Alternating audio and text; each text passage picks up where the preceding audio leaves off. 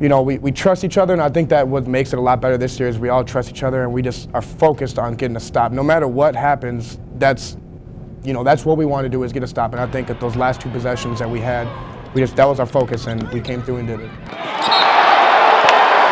We did a good job of getting it, getting it inside either with the pass or with the dribble, um, and getting to the free throw line. And so we had that lead at half, and you know, that that bonus and double bonus as you're going down the first half certainly in the second half, you know, when you go to that line in a close game, uh, it's nice to know you're going to be shooting two uh, earlier in that second half. So, uh, yeah, that was an important aspect for us.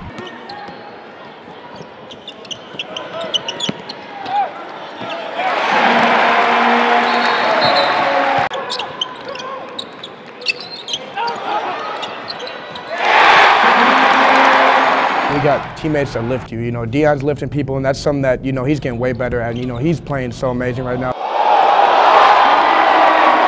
I think with the experience that we've had with the year that we played together, we just know each other, each other so much better that when it comes down to games like this, we feel confident that we're going to pull it out. And, you know, we trust each other, and I think that's the big thing about this year is having trust with our coaching staff and knowing what they tell us to do. And when we get out there into the game, that we know exactly what we got to do to finish the game on the line. A, a lot of we, we do a lot of dribbling drills, but uh, today I mean I was basically just going with the flow and going with my openings, trying not to force anything, and that's basically it.